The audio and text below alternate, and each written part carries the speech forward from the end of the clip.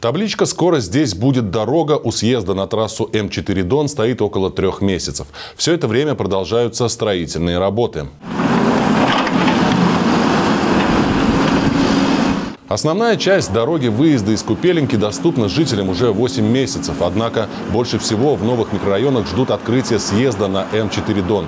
На сегодняшний день здесь уже уложен первый слой асфальта.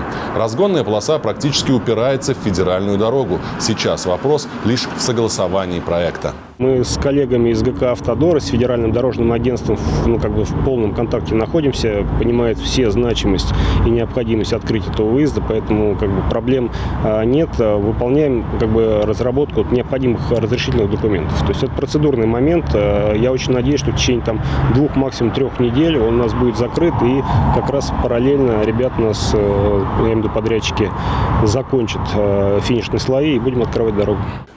Все работы на съезде находятся под пристальным вниманием администрации округа. Произошедшие на съезде изменения оценили глава муниципалитета Дмитрий Оборенов и депутат Государственной Думы Вячеслав Фетисов.